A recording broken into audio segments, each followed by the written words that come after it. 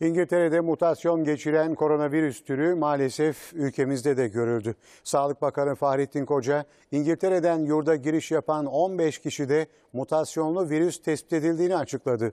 Söz konusu kişilerin karantinaya alındığını söyleyen Koca, İngiltere'den yurda girişlerin tamamen durdurulduğunu söyledi.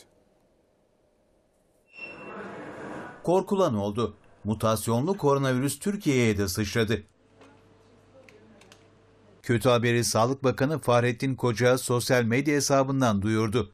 Bakan Koca İngiltere'den Türkiye'ye giriş yapan 15 kişide mutasyonlu koronavirüs tespit edildiğini duyurdu.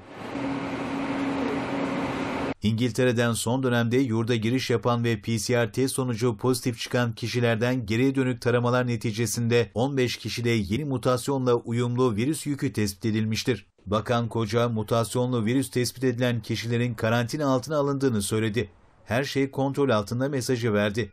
Bu kişiler tarama başladığından beri izolasyon altındadır. İzolasyonları devam eden kişilerin temas çevreleri de karantinaya alınmış ve yaygın temas taraması yapılmış ve kontrol altına alınmıştır. Bakan Koca yurt çapında yapılan düzenli taramalarda mutasyonlu virüsün İngiltere'den giriş yapan kişiler dışında tespit edilmediğini de vurguladı. Yeni önlemler de alındı. İngiltere'den yurda girişler geçici olarak tamamen durdurulmuştur.